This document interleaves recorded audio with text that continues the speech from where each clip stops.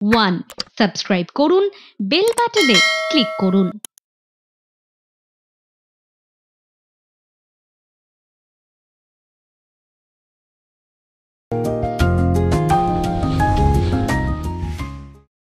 সোমবারের সন্ধেবেলা চ্যানেল ওয়ানে বই, আড্ডা লিকাচ্চা অনুষ্ঠানের একটা নতুন পর্ব। আজকে এই যে অনেক শীত গ্রীষ্মের স্মৃতি পেরিয়ে আমরা বই আড্ডা লিকাচ্চা নিয়ে গিয়ে চলেছি। আপনারা সঙ্গে থাকেন প্রতি সোমবার। আমরা চেষ্টা করি দুজন প্রতিষ্ঠিত গুণী মানুষ সাহিত্যিক কবি এবং দুজন তরুণ রক্তকণিকা যারা বইয়ে দিচ্ছেন নতুন মুখের সঙ্গে আপনাদের আলাপ করে দিতে। আজও আমাদের একজন তরুণ কবি তিমির কান্তি ঘোষ তার সঙ্গে আলাপ করে দিই আপনাদের। তিমির তোমাকে স্বাগত জানাই। নমস্কার শিবাশিস সবাই তোমাকে দেখছেন। তুমি এসেছ।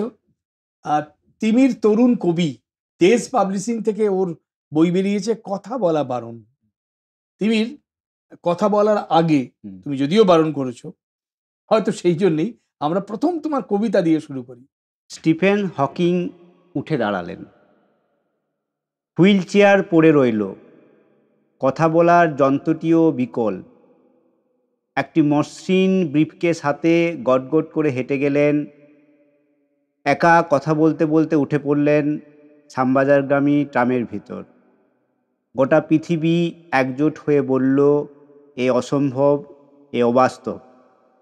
তর্ক ছড়িয়ে পড়ল সোশ্যাল মিডিয়ায়। স্টিফেন হকিং উঠে দাঁড়ালেন। থমকে দাঁড়াল চন্দ্র, সূর্য। হকিং কিন্তু নির্বিকার। মৃদু হাসলেন তারপর নির্বিঘ্নে ঢুকে পড়লেন পাতার রেলের ভিতর।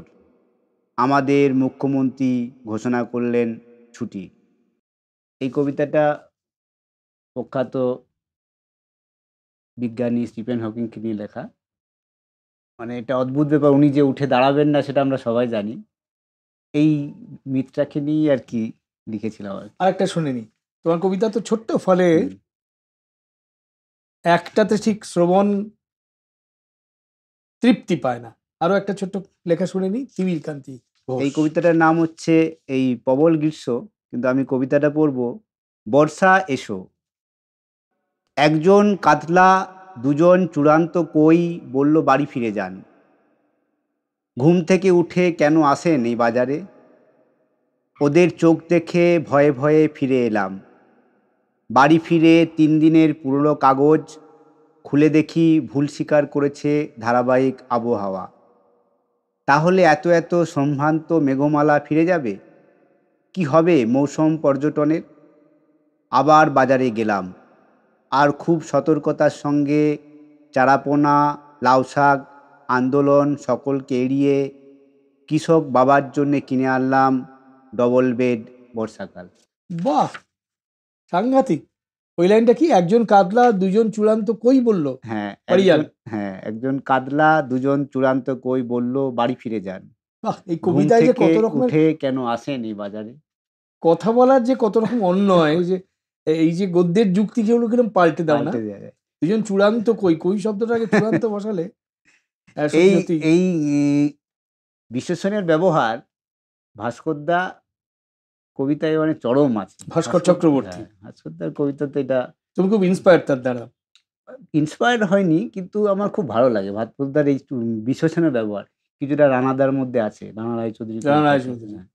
এত মানে ভালো ভালো বিশেষণ মানে ভাবা যায় না আচ্ছা তুমি তোমার তো বাঁকুড়ায় থাকতে নাটমন্দির পত্রিকাতে কবিতা তুমি লিখতে খুব নাটমন্দিরে আমি নাটমন্দির পত্রিকার সাথে আমি জানি সবই কিন্তু আমার মনে হয় লেখা একবারও প্রকাশিত হয়নি। লেখা প্রকাশিত হয়। না লেখা বলে কিন্তু আমরা খুব নব্বই দশকে যখন লেখালেখি শুরু করি হ্যাঁ।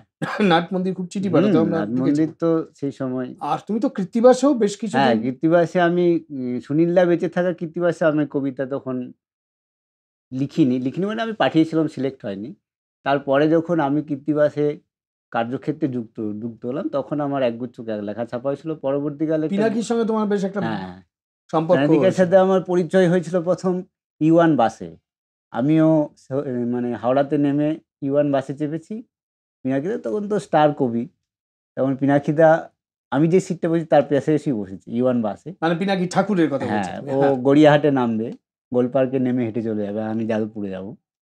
তো ইউয়ান বাসে পরিচয় হয়েছিল এটা আমাদের মানে খুব মানে মানে দুর্ভাগ্য মানে কি বলব খুব সৌভাগ্যবান ঘটনা একটা। পিনাকিকে মিস করো তুমি? পিনাকিদাকে তো মিস করি সবসময়। পিনাকিদার আচ্ছা তুমি যাদবপুরে ওই যে চলে যাবে বলছো। কেন? যাদবপুরে তুমি আমি যখন বাঁকুড়া থেকে এলাম প্রথমে আমি থাকতাম যাদবপুর ইউনিভার্সিটিতে ওই মেন হস্টেলে মেন হস্টেলে কোনো কোর্স করতে? হ্যাঁ আমি একটা ইভিনিং এ একটা কোর্স করতাম বন্ধুর গেস্ট হয়ে থাকতাম ওখানে। মানে গ্রাম থেকে আমি এসেছিলাম যাদবপুর ইউনিভার্সিটিতে কোর্স করব বলে। তারপরে আমি ওই তখন তুমি কাজ করছিলে কি? কাজ করছিলাম ওই পরিচালক বুদ্ধদেব দাশগুপ্তের মানে ফিল্ম প্রোডাকশন হাউসে আমি অ্যাসিস্ট্যান্ট ডিরেক্টর হিসেবে কাজ করতাম। বুদ্ধদা তো বিশাল কবিও বটে। আমাদের সঙ্গে হ্যাঁ, সেই জন্যই কৃত্তিবাসের সূত্রেই কবিতার সূত্রে আলাপ ছিল বুদ্ধদেব দাশগুপ্তের। হ্যাঁ। আমার সাথে তুমি ওনার ইউনিটকে অ্যাসিস্ট করতে? হ্যাঁ ডিরেক্টোরিয়াল টিমে অ্যাসিস্ট্যান্ট মানে ওনাকে অ্যাসিস্ট করতাম। তাই? ক বছর ছিলে? প্রায় দশ বছর। খুব গুরুত্বপূর্ণ একটা কথা। একজন তরুণ কবি বা আর একজন প্রবীণ কবি বুদ্ধদেব দাশগুপ্ত। সেই জন্য ওনার সাথে আমার একটা মানে কবিতার জন্যই এই সম্পর্কটা তৈরি হয়েছিল। মানে আমি এখানে দেখেছি মানে আমি কবিতার কাছে কৃতজ্ঞ এই কারণেই আপনি যেখানেই যাবেন, যে আমি কবিতা লিখি, আরও দেখবেন কাছাকাছি যদি কোনো লোক কবিতা করে সেই লোকটা কিন্তু আপনার বন্ধু হয়ে যায়।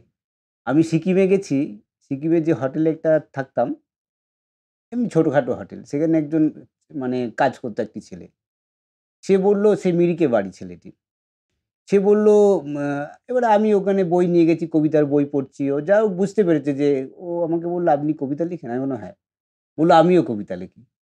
তো সেই ছেলেটা আমার বন্ধু হয়ে গেল। একজন হোটেলের কাজ করা ছেলে কবিতা হ্যাঁ এইটা একটা আমি দেখেছি এবং আচ্ছা তুমি এই বুদ্ধদেব দাশগুপ্তের কোন কোন ছবিতে অ্যাসিস্ট করেছ? বুদ্ধদার সাথে আমি প্রথম কাজ করেছিলাম মহাশ্বেতা দেবীর তেরোটি গল্প নিয়ে দূরদর্শন তেরোটা ছবি প্রডিউস করেছিল। মানে ছোট ছবি তেরোখানা ছবি ওটাতে আমার প্রথম কাজ শুরু। তারপরে করলাম জানালা বলে একটা ফিচার ফিল্ম তারপরে আবার করলাম একটা রবীন্দ্রনাথের দেড়শো বছর উপলক্ষে রবীন্দ্রনাথের তেরোটা কবিতা নিয়ে আবার তেরোটা ছবি হয়েছিল। সেটাতে আমি ছিলাম। তারপরে কাজ করলাম বাচ্চাদের একটা ছবি হয়েছিল। ও বলে সেটাও ওই রবীন্দ্রনাথের সার্ধ শতক এটা চিলড্রেন ফিল্ম ফেডারেশন প্রডিউস করেছিল। ওই পুপে বলে একটা রবীন্দ্রনাথের উপখ্যান আছে না হ্যাঁ। ওটাকে আমরা ছবি করেছিলাম পুপে আর পরে যখন বুদ্ধদেব দাশগুপ্তের তার- বইটই হয়েছে তখন তুমি করেছ নাকি? বইয়ে আমি ওনার একটা চিত্রনাট্য সংঘ দেশ পাবলিশিং থেকে আছে ওটা আমি সম্পাদনা করেছি। বেশ। তরুণ কবি তিমিরকান্তি ঘোষ, তার কর্মজীবনের তো বিরাট অভিজ্ঞতা। আসব আমরা সেসব কথায়। তার আগে একটা ছোট্ট বিরতি নিতে হবে। কেউ যাবেন না। ফিরে আসছি এক্ষুনি।